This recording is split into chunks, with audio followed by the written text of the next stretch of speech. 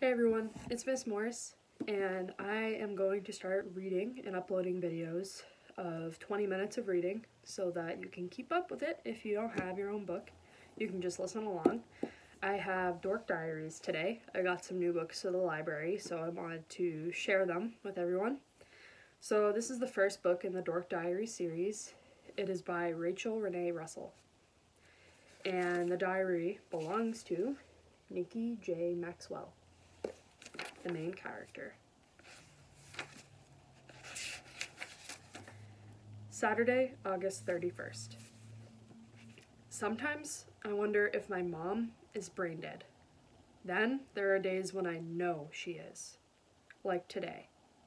The drama started this morning when I casually asked if she would buy me one of those cool new iPhones that do almost everything. I considered it a necessity of life, second only to maybe oxygen. What better way to clinch a spot in the CCP, cute, cool, and popular, group at my new private school, Westchester Country Day, than by dazzling them with a wicked new cell? Last year, it seemed like I was the only student in my entire middle school who didn't have one. So, I bought an older, used phone super cheap on eBay. It was bigger than what I wanted, but I figured I couldn't go wrong for the clearance price of only $12.99. I put my telephone in my locker and spread the word that everyone could now call me with all the juicy gossip on my new telephone. Then I counted down the minutes before my social life started heating up. I got really nervous when two of the CCP girls came walking down the hall in my direction, chatting on their cell phones.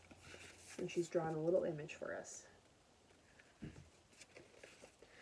They came right over to my locker and started acting super friendly. Then they invited me to sit with them at lunch, and I was like, uh, okay. But deep down inside, I was jumping up and down and doing my Snoopy happy dance. Then things got really strange. They said they had just heard about my new $600 juicy couture design cell phone, and that everyone, meaning the rest of the CCP crew, couldn't wait to see it. I was about to explain that I had said juicy gossip on my new phone, not new gossip on my juicy phone, but I never got a chance because, unfortunately, my telephone started ringing, very abnormally loudly. I was trying to ignore it, but both of the CCP girls were staring at me like, well, aren't you going to answer it? Obviously, I didn't want to answer it because I had a really bad feeling they were going to be a little disappointed when they actually saw my phone. So I just stood there praying that it would stop ringing, but it didn't. And pretty soon, everyone in the hallway was staring at me too. Finally, I gave in, snatched open my locker, and answered the phone, mainly to stop that awful ringing. I was like, hello? Um, sorry, wrong number. And when I turned around, both of the CCP girls were running down the hall screaming, Make it go away, make it go away. I guess it probably meant they didn't want me to sit with them at lunch anymore which really stunk.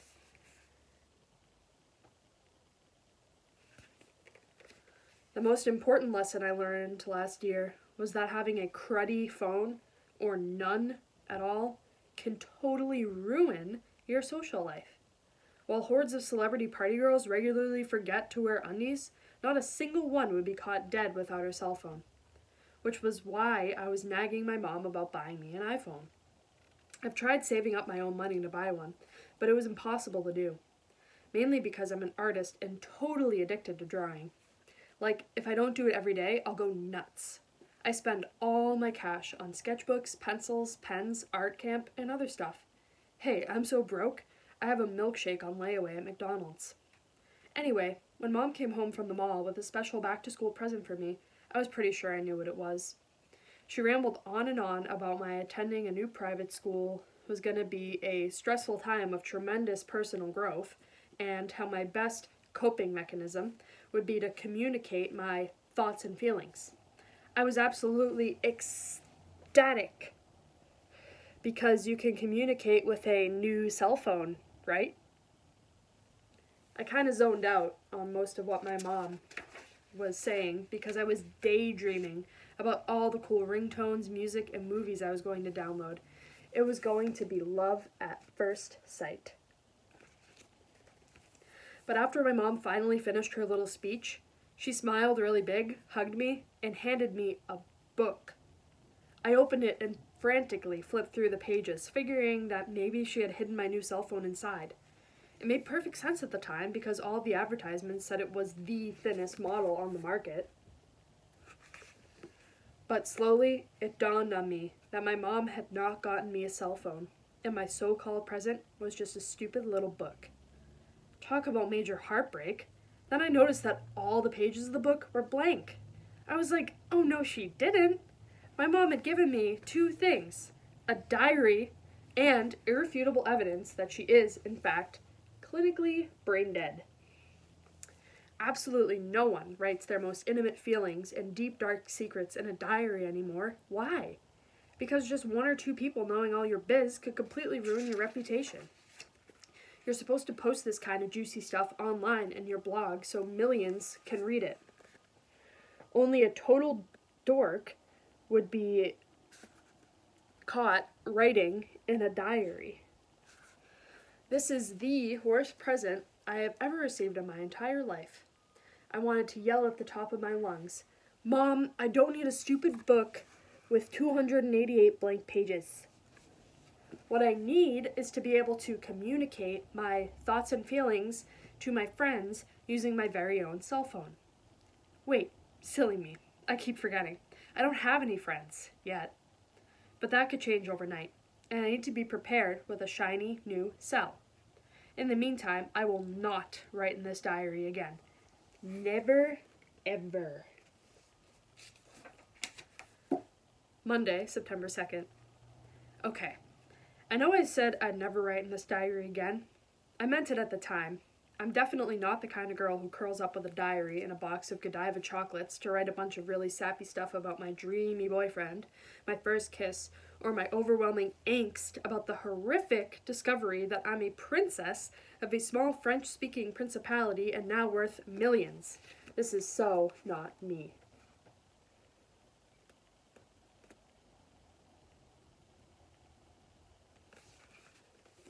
My life totally sucks. All day, I wandered around my new school like a zombie in lip gloss. Not a single person bothered to say hi. This is me. Most of the time, I feel invisible. How am I supposed to fit in at a snobby prep school like Westchester Country Day? This place has a Starbucks in the cafeteria. I wish my dad had never been awarded a bug extermination contract from this school. They could take their little pity scholarship and give it to someone who wants it and needs it, because I don't. Tuesday, September 3rd. It's way past midnight, and I'm about to freak out because I still don't have my homework done. The assignment is for Honors English Lit, and we're reading A Midsummer Night's Dream by Shakespeare. I was kind of surprised because I didn't know he wrote teen chick lit. It's about a mischievous fairy named Puck who tries to break up with a really cute break up a really cute couple lost in an enchanted forest. Then this guy with a donkey head crashes a big fairy party and hooks up with their queen. Pretty weird stuff. Party. Our homework assignment is to complete three essay questions about Puck. One, would you consider Puck the protagonist of the play? Why or why not? Two, how do Puck's personality and actions set the mood of the play? 3. Use your imagination and provide either a detailed physical description or drawing of Puck. The first two questions weren't that hard, and I finished them in no time at all. However, the third question threw me through a loop. I didn't have the slightest idea what Puck looked like, but I tried to imagine him with cute little pointy ears as hot as Nick Jonas. I was also dying to know if having a messed up name like Puck completely ruined his life. She also drew Corbin Bleu and Justin Timberlake. I bet the popular kids at his school will call them puke, schmuck, yuck, or something worse. Poor Puck. I tried to go to that educational website, Wiki something or other, that everyone plagiarizes to find a picture of Puck but I couldn't remember the name of it and was too lazy to Google it. I was really surprised to hear a knock on my bedroom door this late at night, and I assumed it was my six year old sister Brianna. About a week ago, she lost one of her front teeth and buried it in the backyard to see if it would grow. She is forever doing crazy weird stuff like that. My mom says it's because she's still a little kid, but I personally think it's because she has the IQ of a box of crayons. As a little joke, I told Brianna the tooth fairy collected teeth from children all over the world and then superglued them together to make dentures for old people. I explained that she was in big trouble with the tooth fairy, seeing as she had dug a hole and buried her tooth somewhere out in the backyard. The funniest part was that Brianna totally believed me. She actually dug up half of Mom's flower garden trying to find her tooth. Since then, Brianna has been paranoid that the tooth fairy is going to sneak into her room in the middle of the night and pull out all her teeth to make dentures. But my prank kind of backfired because now she absolutely refuses to use the bathroom at night unless I first check to make sure the tooth fairy is not hiding behind the shower curtain or under the bath towels. And if I'm not quick enough, Brianna will have a little accident right on my bedroom carpet. B- but what if the tooth fairy is hiding in there?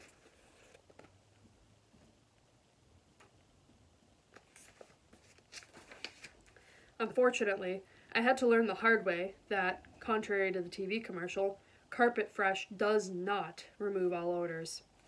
Lucky for me, it wasn't Brianna at my door, but my parents. Before I could say, come in, they just kind of barged in like they always do, which really irritated me because this is supposed to be my room. And as an American citizen, I have a constitutional right to privacy, which they keep invading.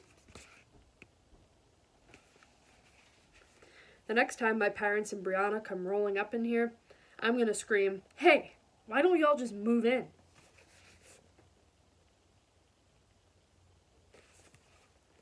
Anyway, my parents said they were surprised to see that I was still up doing homework, and they wanted to know how things were going at school.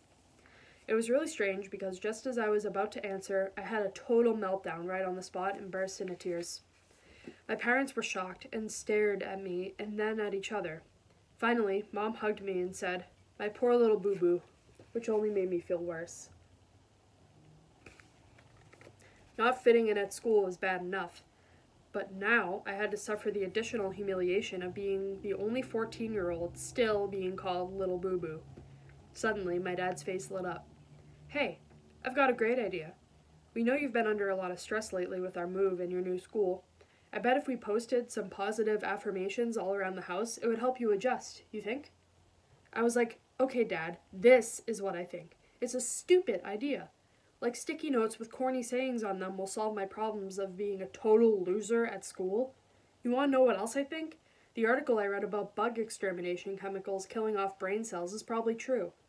But I just said it inside my head, so no one else heard it but me. My parents kept staring at me, and it was trying to creep me out. Finally, after what seemed like forever, my mom smiled and said, Honey, just remember, we love you. And if you need us, we're right down the hall. They walked back to their bedroom, and for several minutes I could hear their muffled voices. I guess that they were probably discussing whether or not I should be committed to a mental hospital right then or first thing in the morning. Since it was so late, I decided to finish my puck assignment during study hall. I wondered if you still had to hand in homework when you're locked up in a when you're locked up in a psycho ward. Wednesday, September 4th. My new issue of That's So Hot magazine says the secret to happiness is the four F's friends, fun, fashion, and flirting. But, unfortunately, the closest I've ever gotten to friends, fun, fashion, and flirting is having a locker right next to Mackenzie Hollister. She's the most popular girl in eighth grade. Lucky me. I had just finished fighting my way through the crowded halls to get to my locker and had almost been trampled alive. Then suddenly, as if by magic, the huge mob of students parted right down the center, just like the Red Sea. That's when I first saw Mackenzie strutting down the hallway, like it was the runway of a Paris fashion show or something.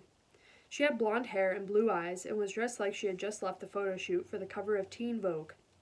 And everyone, except me, immediately fell under her powerful hypnotic spell and totally lost their minds. What's up, Mackenzie? You look so hot, Mackenzie. Are you coming to my party this weekend, Mackenzie? Love your shoes, Mackenzie. Will you marry me, Mackenzie? You'll never guess who has a crush on you, Mackenzie. Is that another designer purse, Mackenzie? Fabulous hair today, Mackenzie. I'll pluck out my eye with a pencil and eat it with a spam and mustard sandwich if only you'll sit with me at lunch today, Mackenzie. Which also proves my theory that there's always at least one seriously mentally ill weirdo in every middle school in America. It was Mackenzie, Mackenzie, Mackenzie when she walked up to the locker right next to mine. I knew then and there it was I was going to have a very bad school year. Mackenzie and Nikki. Being so close to the radiance of her awesome yet sickening perfection just made me feel like a humongous loser. And it didn't help that she was hogging most of my personal space. Hey, it wasn't like I was jealous of her or anything. I mean, how totally juvenile would that be? Between classes, Mackenzie and her friends are forever standing right in front of my locker, GGGing. That means giggling, gossiping, and glossing. And whenever I get up the nerve to say, Excuse me, but I really need to get into my locker, she just ignores me or rolls her eyes and says stuff like, Annoying much? or What's her problem? And I'm like, Hey, girlfriend, I don't have no stinking problem. But I just say it inside my head, so no one really hears it except me. However, deep down I'm troubled and ashamed that a tiny part of me, a very dark and primitive side, would totally love to be best friends with Mackenzie. And I find that part of myself so disgusting I could vomit. But on a much happier note, I'm really into lip gloss too. My favorite one right now is Crazy Kisselicious Strawberry Crush Glitterati. It's yummy and tastes like strawberry cheesecake. Unfortunately, no super cute hunk like Brandon Roberts, the guy who sits in front of me in my biology class, has developed a huge crush on me and fallen in love with my fabulous glossy lips, like in all of the crazy Kisselicious television commercials. But hey, it could happen. In the meantime, I've decided to try and enjoy my single status. Oh, I almost forgot. Dad is supposed to pick me up after school today to take me to my dentist appointment. Please, please, please don't let him pick me up in his work van with the five foot long plastic roach on top. I would absolutely die if anyone found out I only attend the school due to his bug extermination contract. Thursday, September 5th. Mackenzie and her snobby friends are about to get on my last nerve. They're always making nasty comments about any girl who wanders within six feet of them. I mean, who do they think they are? The fashion police? Hi, sweetie, you're under arrest for a felony fashion violation. Today, in under one minute, Mackenzie gave out the following scathing fashion commentary while applying her lip gloss. Don't you need a license to be that ugly? That outfit would be perfect for Goodwill. If she knows what's good for her, she will burn it. OMG, I bought that exact same sweater she's wearing for my dog from PetSmart. What's that awful stank? She's supposed to spray on the perfume, not marinate in it. She has so much acne. She uses a special makeup brand. It's called Why Bother. What's up with her new hairstyle? It looks like a small mammal made a nest in her hair, had babies, and died. She thinks she's so cute. She's just living proof that manure can actually grow legs and walk. To call Mackenzie a mean girl would be an understatement. She's vicious. She's a pit bull in glittery eyeshadow and Jimmy Choo flip flops. Friday, September 6th. I think I've finally figured out why I don't fit in at this school. I need a new designer wardrobe for one of those really expensive teen shops at the mall. You know, the ones where the sales girls dress like Hannah Montana and have pierced belly buttons, blonde highlights, and phony smiles. But what drives me insane is their nasty habit of unexpectedly snatching open the curtain of your dressing room and popping their head inside while you're like half naked. It's enough to make you want to slap those blonde highlights right out of their hair. And when you look in the mirror, you can obviously see the outfit looks horrible on you. But those sale girls just smile real big and act cute and perky and lie to your face by saying the outfit one looks totally fabulous, two brings out your natural skin tones, and three complements your eye color. They'll tell you this even if you're trying on one of those huge green lawn size hefty trash bags. Hun, that looks so cute on you. Me, wearing a trash bag. I also hate the clothes that are snobby chic. It's when the exact same outfit looks totally different on two very similar girls. The more popular you are at school, the better it looks on you. And the more unpopular you are, the worse it looks on you. I can't tell you how a snobby chic outfit mysteriously does all this personal stuff about knows all this personal stuff about you, but it obviously does. Why I hate snobby chic fashions. Cool snobby chic outfit at the mall. Popular girl. Me.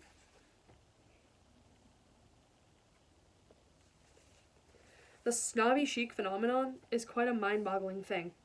Hopefully, Congress will allocate funding for scientists to study it, along with how socks mysteriously disappear from the dryer. But until then, buyer beware. Anyway, after my mom buys me a designer wardrobe, I'm going to walk right up to Mackenzie and her little entourage and tell them off really good. But before I say anything, I'm going to put my hands on my hips and do that neck roll thing like Tyra Banks, just to show them how much attitude I really have.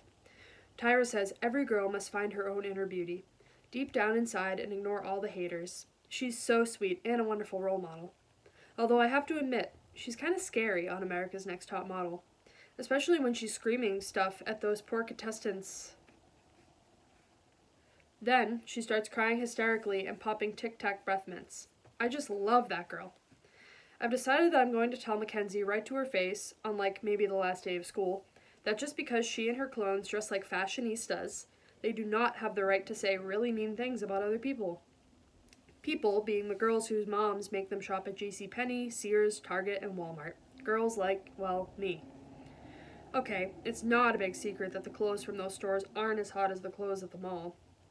And yes, it's a huge inconvenience and definite turnoff to have the lady to have to walk through the old ladies, fat ladies, and pregnant ladies departments to get to the one for teens. No wonder most girls prefer those fancy teen shops at the mall.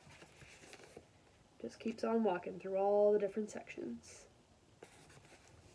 My mom says it really doesn't matter where your clothes come from as long as they're clean, right? Wrong. I wish I had a dollar for every time I've heard Mackenzie shriek, Oh my god, where are these pathetic girls buying such hideous clothes? I'd come to school butt naked before I ever buy my fashions from a store that sells lawnmowers. To be honest, I didn't know that the stores I shopped at sold lawnmowers. And even if they do, big fat hairy deal. It's not like the clothes smell like a lawnmower or something, at least I hadn't noticed it. The next time I go shopping, I'm going to sniff the clothing before I buy anything just to make sure. I'm also going to wear a hat, wig, sunglasses, and phony mustache so no one will recognize me. Whatever. Alright, there's the first 20 minutes. And tomorrow I will upload another 20 minutes of reading Dork Diaries.